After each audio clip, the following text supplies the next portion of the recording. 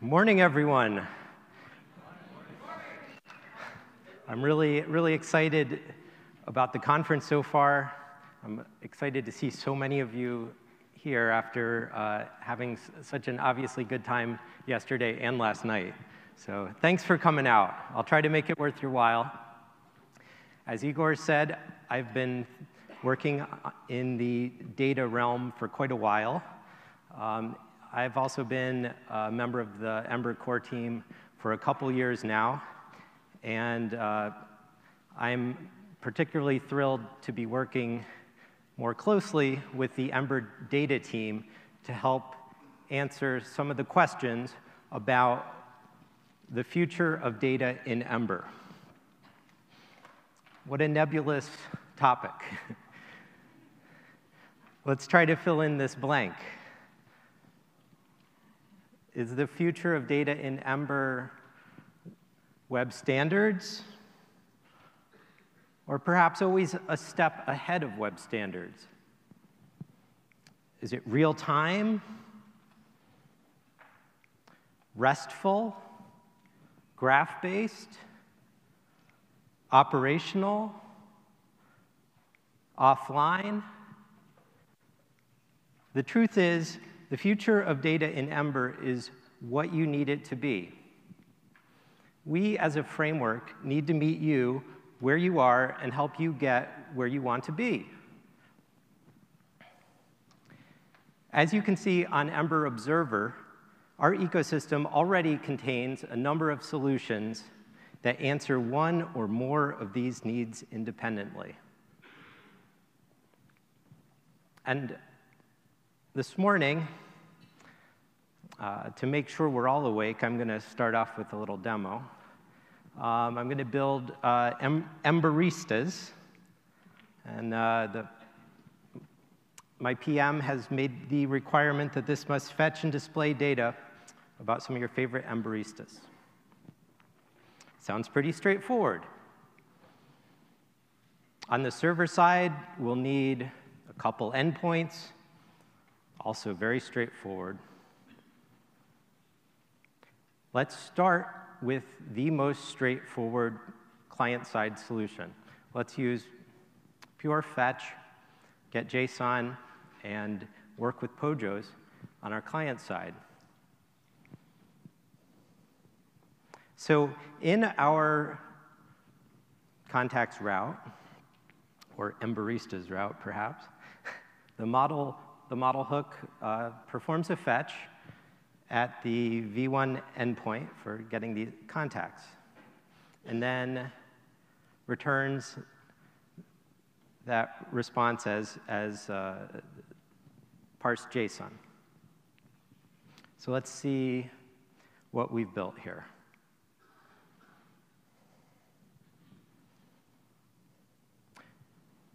Just a very straightforward master detail, read-only application. And so far, only web standards have been used. Okay, so we kept it as simple and uncomplicated as possible. So a new re requirement has come in that's going to put us to the test.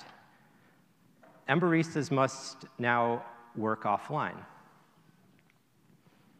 Let's just double check that it doesn't. Going to switch off our network, and yep, there's the dinosaur, so yeah, we're out of luck. We have some work to do. The answer is also a web standard, service workers. We are on the cusp of a day that many of us have waited for a long time for, in which service workers are supported across all the evergreen browsers, desktop and mobile. And we're lucky uh, to have good folks like Marten Schilstra from Dockyard, who's built some add ons focused on uh, implementing service workers as easily as possible.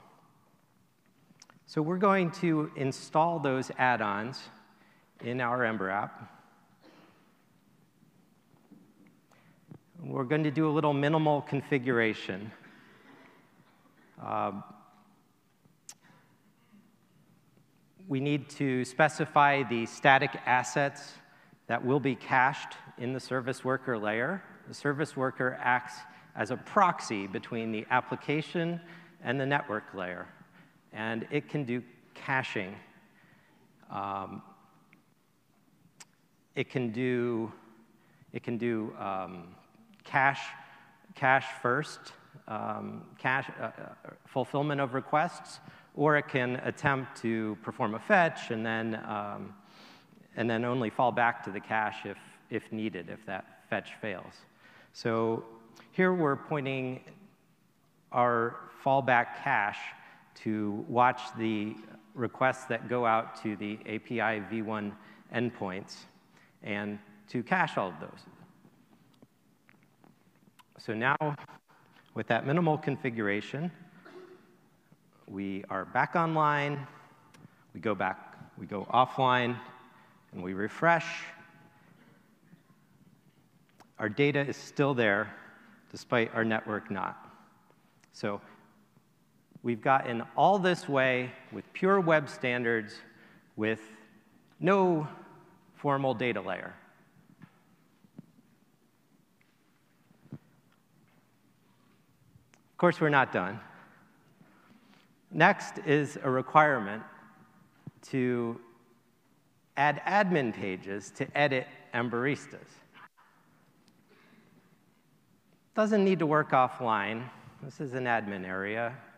Um, seems like it might be used mostly on the desktop. So we are going to need some new server-side endpoints. So we're creating a V2 API with some new endpoints to do basic CRUD. And we're going to upgrade our data layer from pure web standards to use Ember data. We're going to introduce a model. And in our routes, we're going to access this Ember data store that's um, injected into all of our routes. And we're going to, in this case, we're going to find all the, the contacts, all the instances of the model. So it does a lot more than that, but it's pretty basic CRUD and follows the same guidelines you see on the, uh, in the Ember guides. So I, I won't go in depth into the implementation. But basically, we now can view the, our, our Emberistas, we can edit them, we can, um, we can do any CRUD operation, we can delete them. I felt only right deleting myself. and, uh, and hey, we can even welcome our, the newest member of our family, Melanie Sumner. So.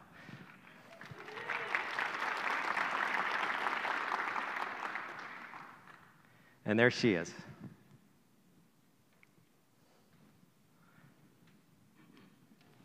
The story doesn't end there.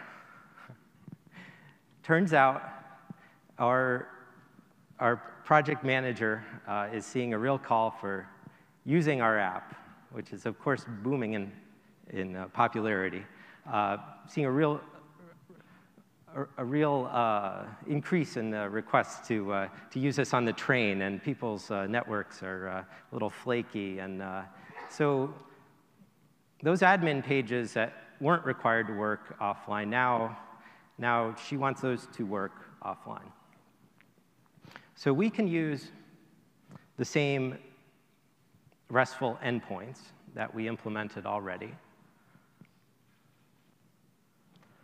And now we're going to introduce a new uh, data layer, um, Orbit, uh, which is accessible from, uh, for, for the Ember world through the Ember add-on Ember Orbit.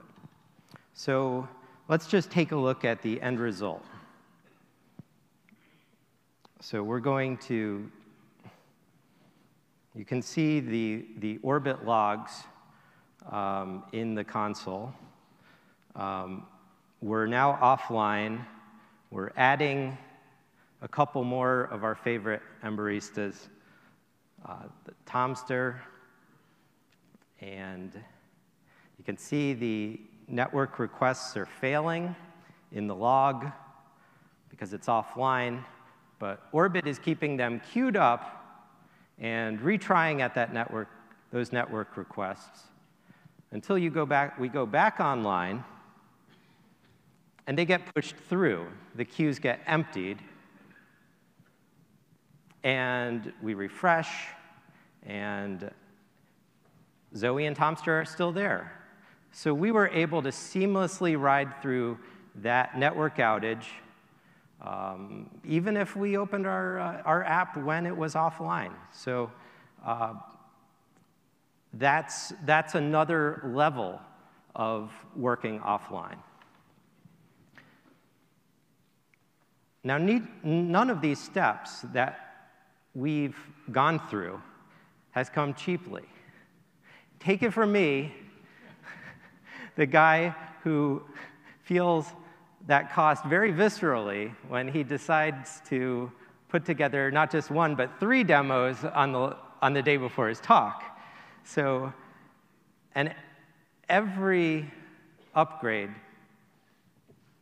felt like a rewrite of, of the whole data layer.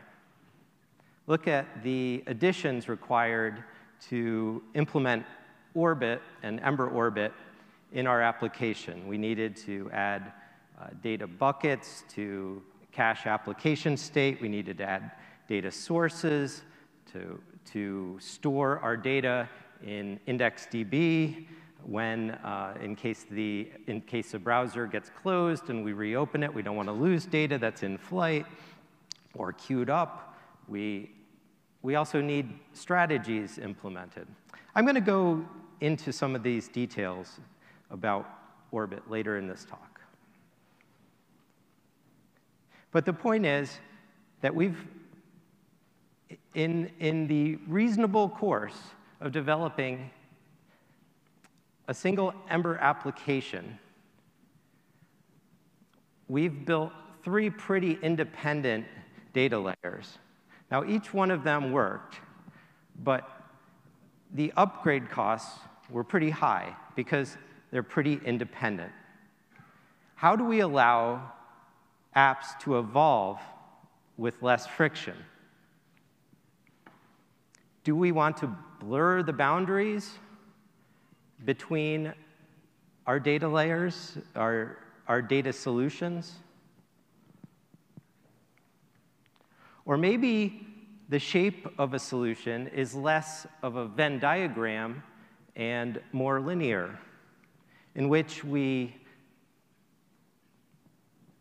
add capabilities and accept a proportional complexity cost. There should be an easy on ramp, heavily based in standards where possible. As an application needs more complexity, it can incrementally augment its capabilities. And applications only need to accept the costs of the complexity that they truly need.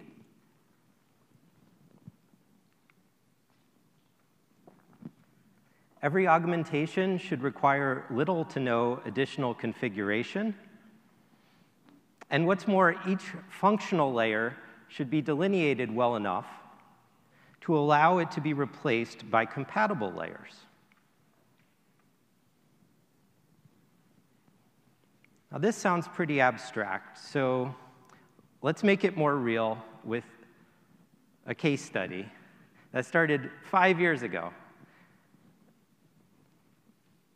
Ember Camp 2013 meant a lot to me. It was the very first time I gave a conference talk.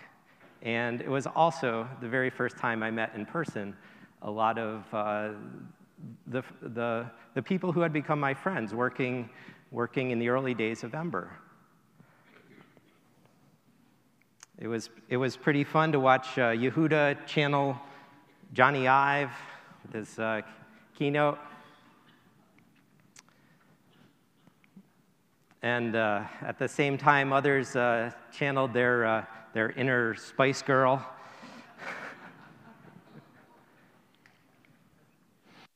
and I mustered my courage to give this talk, Optimizing an API for Ember Data. It was very much about convention over configuration, a core value of both Rails and Ember. The talk focused on a backend library, active model serializers, fulfilling the data needs of a front end, Ember data, with a REST adapter.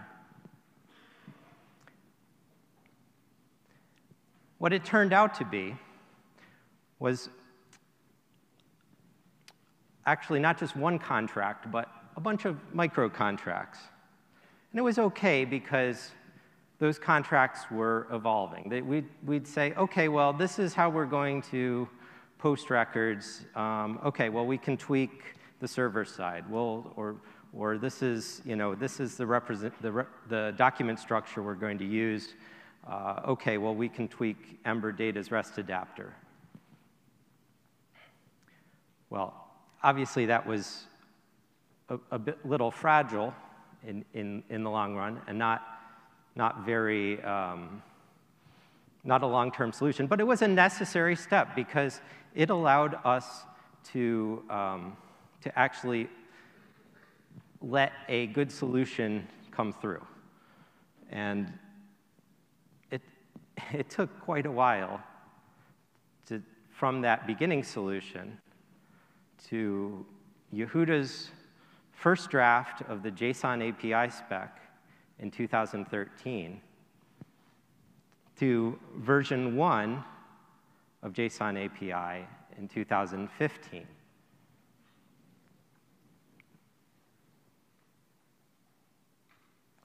JSON API provided a single contract between the backend and the front end. It defined the document structure and the protocol usage at the API layer. It unlocked flexibility. You didn't need to use AMS on the back end. Maybe you were a Java shop, or maybe you had a preferred Rails lib, like JSON API resources. A new adapter showed up in Ember Data, the JSON API adapter, which was tailored to JSON API, which was different from the original REST adapter. Similarly, Orbit can work with JSON API with a JSON API source. That's what Orbit calls uh, data sources. Netflix just put out Fast JSON API uh, serializer. That could also work. Basically, both ends are swappable. There are now over 50 server libraries and 50 client libraries written in 14 languages on each end implementing JSON API. Now, I don't guarantee that they're all as, as good as one, one or the other, but obviously they were all written by people who had particular needs, had particular itches to scratch. And they're all based around this single spec. And you can review them at jsonapi.org. And you can choose your particular client uh, language and framework and server language and framework and pick one that's right for you. So what's the secret sauce here? It's composable, well-defined interfaces. JSON API defines a document structure and protocol usage that's compliant with HTTP. We went from the AMS Ember Data monolithic full stack solution in which the back end and front end were tightly bound with all those micro contracts to a single point of connection, the JSON API spec. And that provided a new degree of freedom, which unlocked interchangeable components.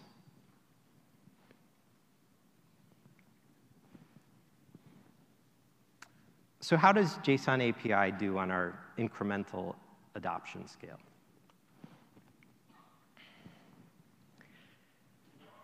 At its most basic, following only the musts in the spec, JSON API specifies a very simple HTTP compliant RESTful API with a slightly opinionated document structure.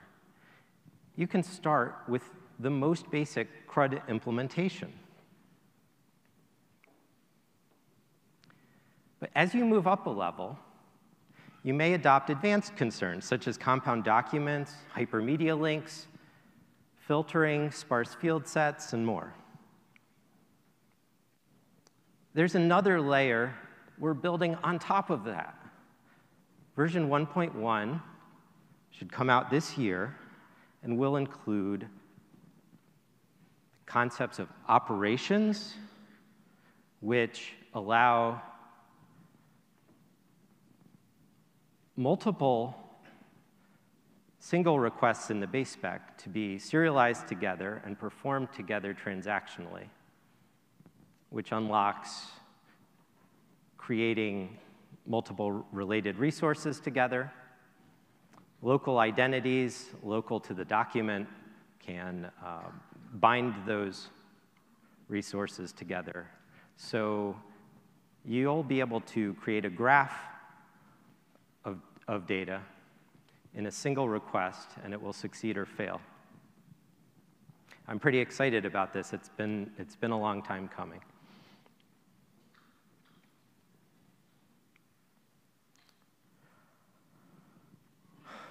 So let's talk about Ember data.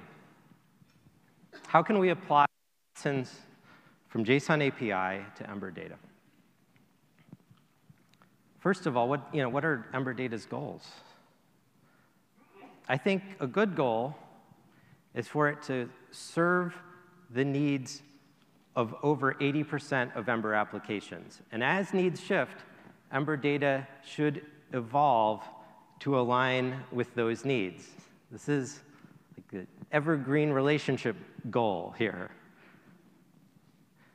And, and how can it do that? It can use the same secret sauce that JSON API does. It, composability, extensibility, unlocked by well-defined interfaces. In fact, it already has some well-defined interfaces and degrees of freedom. The store can be connected to an adapter and a serializer. And just like JSON API has a breadth of implementations in its ecosystem, if you look at Ember Observer, you can see that Ember Data also uh, has many implementations that serve many different needs at the adapter and serializer layer. One issue that the team is actively addressing is the tight coupling that currently exists between the store and the model. There's a lot of internal private code which unfortunately for out of necessity has become semi-private code or in intimate code. And uh, add-ons add-ons rely on this. And, uh, and so we've got a bit of we've got a bit of a bind there. Because a lot of add-ons need that functionality that can only be accessed by through those intimate APIs that exist between the store and the model. And we need to give provide a way for those add-ons to evolve. So that's where Igor's record data RFC comes in. The record data interface formalize the interface between the store and the model and allow add-ons to deal with that, that well-defined interface. And by defining that new interface, we can unlock experimentation.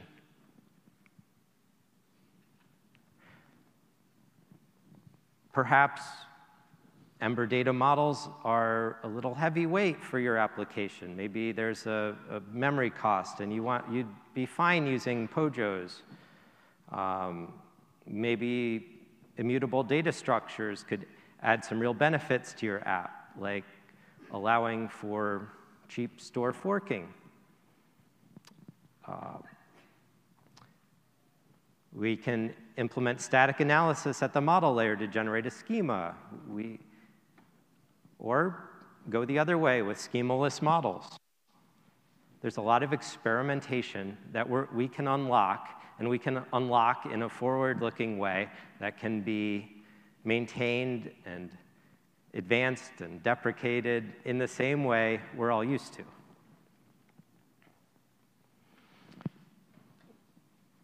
So let's look at Ember Data's incremental adoption of capability scale here.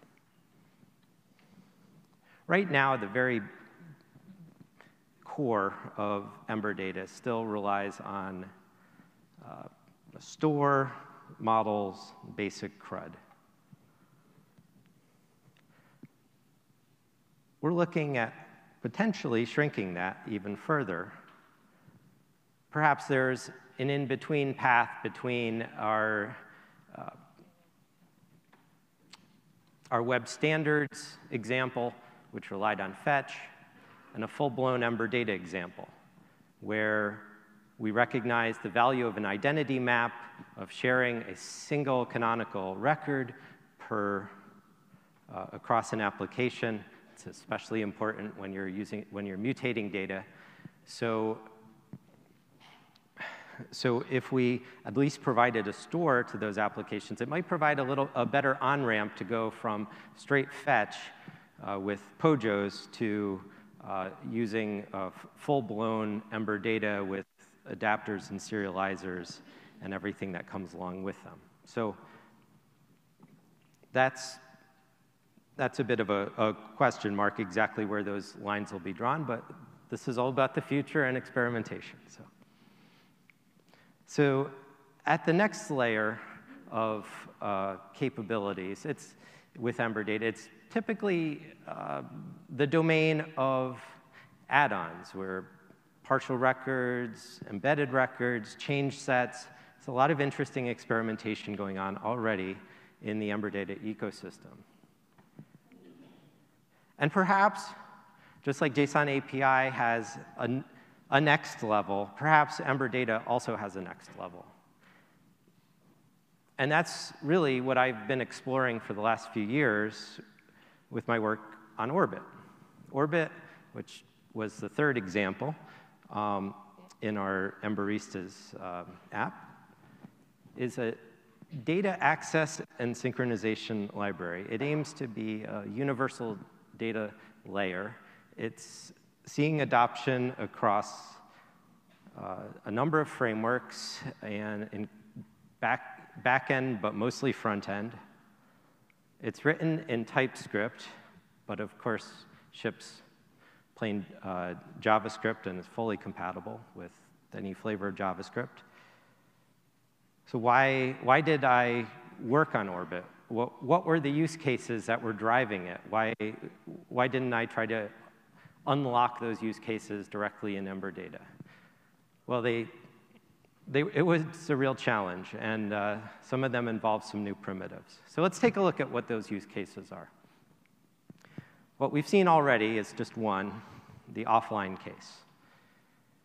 In an increasingly connected mobile world, offline is critical for web applications, PWAs to compete with native.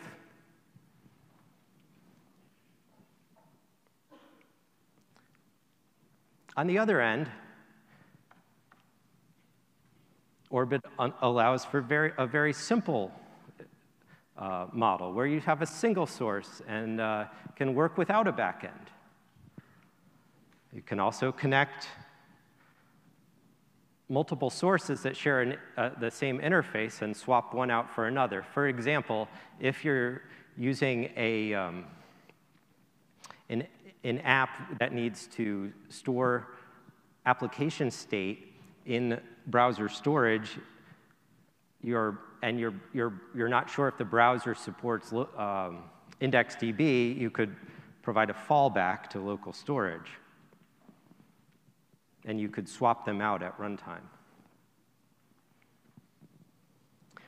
One of the main challenges that's been so hard to get right is data synchronization. Increasingly, applications are not just one or the other type. They're not just dealing with one, one type of data, real, real time um, or RESTful or you know, from multiple services. They, they need to make sense of that data, synchronize it, and present it to the user. And that can be a, be a really hard problem.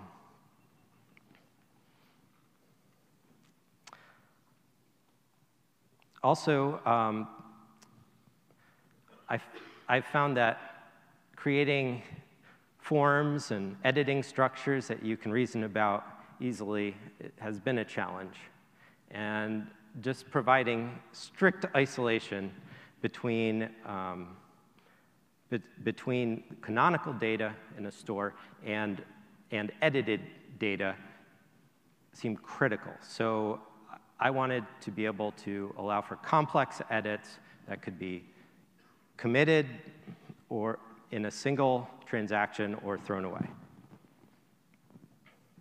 And if we're getting that deterministic about tracking our changes, then that unlocks things like undo and redo.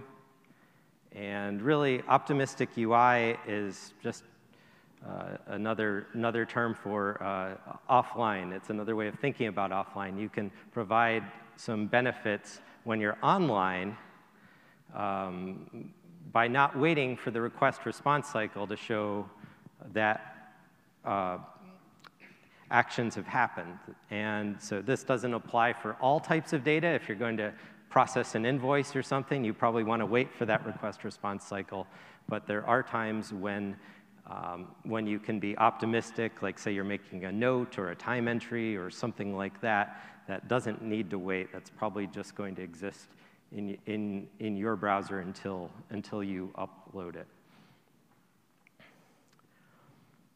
So I won't get too in depth with Orbit, but the basics are that it considers all sources of data with a, with a, a base class, a single interface, um, with, with specialized interfaces implemented on top of that.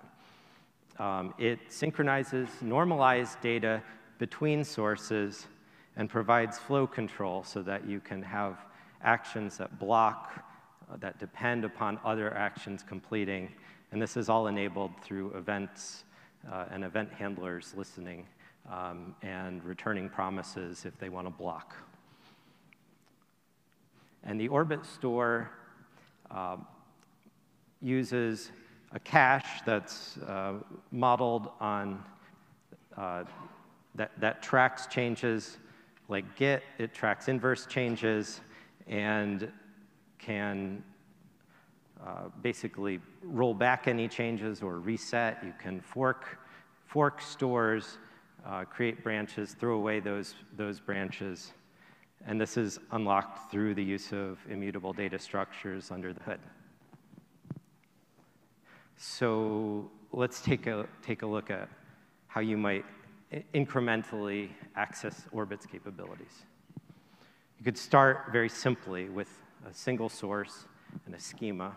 That's the bare minimum. And you could then, like a memory, memory source, a store that you could query. Next level, you might want to connect multiple sources with coordination strategies, state buckets. State buckets are important to maintain. Each source can, um, can use a state bucket to maintain everything that is in, in memory, application state, that should be persisted to, um, uh, you know, so that if, the brow if your browser goes down unexpectedly, all those queues, all those logs stay, will be uh, revived, rehydrated when it comes back. And then at like the last frontier are people who are using Orbit to create custom sources uh, particular to their own types of data. Uh, you can create new query ops. There's a generalized uh, query and update language which, uh, which could be adapted to support any type of operation like queer, like Orbit could eventually support uh, GraphQL, for instance, as, as an operation type in, in queries or GraphQL mutation. So it's pretty general purpose. It's certainly not specific to JSON API. So how do I see Orbit fitting in with Ember data? Well, as we've, as we've already seen with Ember data's incremental scale, there's a big question mark, big, a lot of question marks at that upper end. You know, where, where does it go? What's next? I see actually a lot of issues opened in uh, the Ember Data RFCs and, and the repo about, you know, pushing advanced capabilities. And I'm hopeful that those advanced capabilities that we all need as a community line up with a lot of what Orbit provides. So I think you could consider this analogy that Orbit is to Ember data as Glimmer is to Ember. And this makes a whole lot more sense when you look at the logos.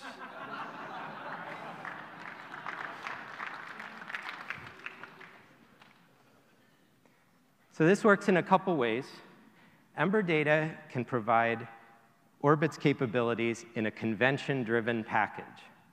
Remember all those configuration files I had to add to that Orbit app to make it all work. We're a convention over configuration community. We can apply those same strategies at, at the data layer and unlock advanced features for all of us without a lot of sweat. And another way that Orbit is like Glimmer, or Glimmer.js, you might say, is that Orbit and its ecosystem can provide a laboratory for experimentation in the same way that we sanded down a lot of the rough spots on Glimmer components before they landed in Ember.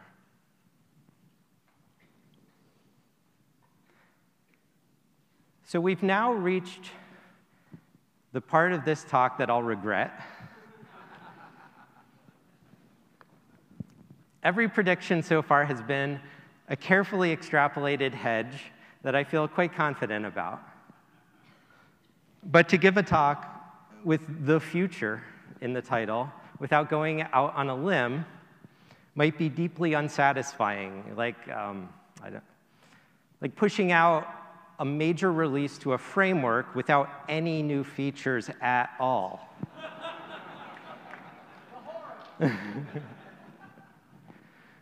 anyway, here goes nothing. I'm put, taking out my crystal ball and saying that, yes, GraphQL is onto something. GraphQL usage will continue to grow, and Apollo will continue to innovate. There's a lot of interesting things happening there.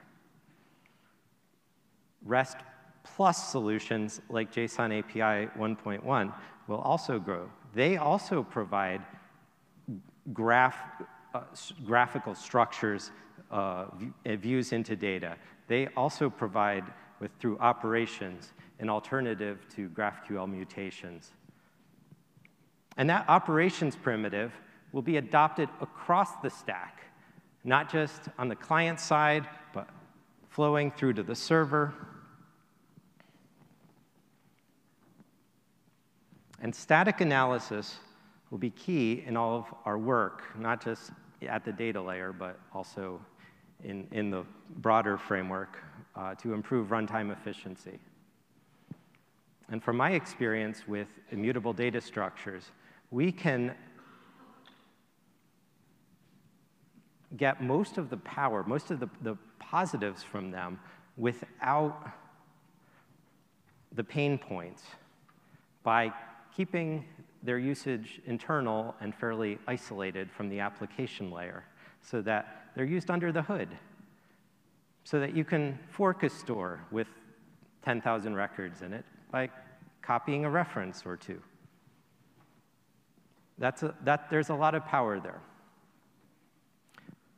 But we don't want to use custom accessors to access every single, every single piece of data in, in, um, in those, uh, directly in those structures. And I strongly believe with the, uh,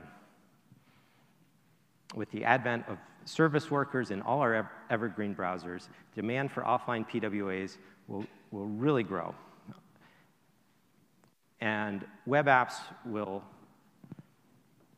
truly compete with native apps on so many fronts.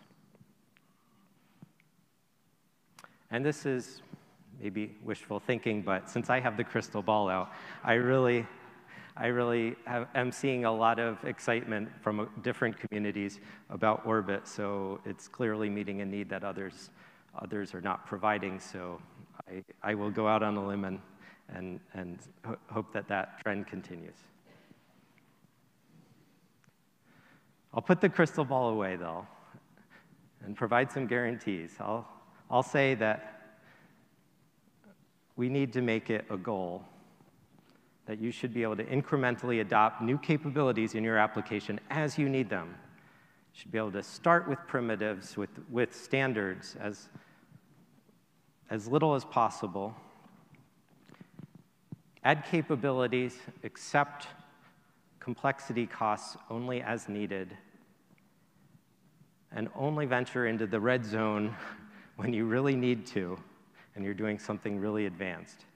But hopefully, each step of the way is unlocked by little to no configuration and strong boundaries between these functional layers, which allows for swapping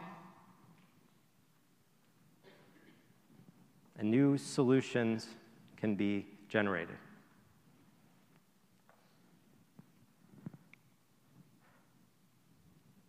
So, in closing, I'm not only really excited about what's going on in data, I'm I'm thrilled to see what's going on across the ecosystem. I think the keynote yesterday just laid, laid it out so well. And I feel like this year is a great year for all of us to reach out and share what's going on in the Ember ecosystem with the broader JavaScript community. As, we're, as our applications, as our framework has modernized and is second to none. Our performance stands toe to toe with Preact. Our conventions are as well thought out as any.